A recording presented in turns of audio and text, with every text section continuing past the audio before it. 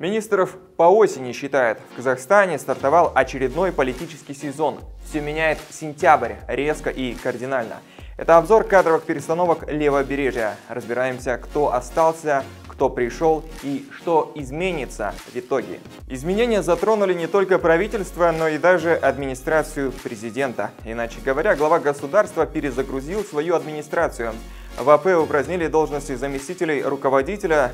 Их было 6, взамен появилось 5 помощников президента по тем или иным вопросам. Теперь перейдем к персоналиям. Бывший первый зам руководителя администрации президента Тимур Сулейменов стал главой Нацбанка. Помощником президента по экономическим вопросам назначен Асет Иргалиев, руководивший Аспиром. Зам руководителя АП Аида Балаева получила портфель министра культуры и информации. Ярнар Баспаев стал советником президента. Другим заместителям руководителя АП не пришлось менять кабинеты с наступлением осени. Канатбек Жайсамбаев и Асет Исекешев, которые, кстати, и были помощниками главы государства, пока остались без работы. Кстати, Канат Бозумбаев вернулся в политическую элиту. Он стал советником президента. А вот как оценивает изменения в АП политолог Данияр Ашимбаев. Реорганизация АП, как видно, направлена на сокращение координирующей роли президентских структур. Статус кураторов был резко понижен. Усиление роли правительства подчеркивает Газиз Абишев. Сокращением экономического блока в АП большая ответственность ложится на плечо Кабинета министров. Почти тектонические изменения произошли и в правительстве. Тут и пять новых министерств, и новые министры. Почти, потому что ключевая фигура, премьер-министр Алихан Смаилов, сохранил свою должность. А вот некоторым его коллегам это не удалось. Ахмеджанов уступил кресло главы МВД Ержану Саденову.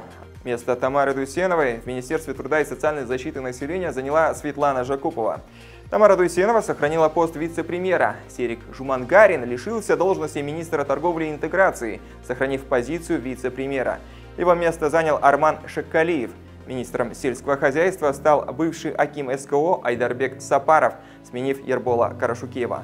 Ерлан Насанбаев получил должность министра экологии и природных ресурсов. Временно безработными остаются Асхат Уралов, Дархан Хадрари и Зульфия Сулейменова. Все они поработали в правительстве всего ничего. Уралов и Сулейменова пришли в правительство молодыми по новым меркам страны и покидают правительство также молодыми. Новые ведомства возглавили другие люди. Министерств в стране стало больше как количество повлияет на качество и поможет ли переменами слагаемых быть правительству эффективнее. Тестом на профпригодность, разумеется, станет исполнение послания главы государства. Ожидания высокие, равно как и спрос. Сентябрь только начинается, и мы будем следить за осенними политическими обострениями.